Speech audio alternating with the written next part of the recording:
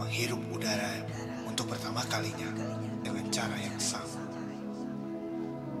Lalu kita mengenal cinta, mengenal persahabatan, mengenal kepercayaan,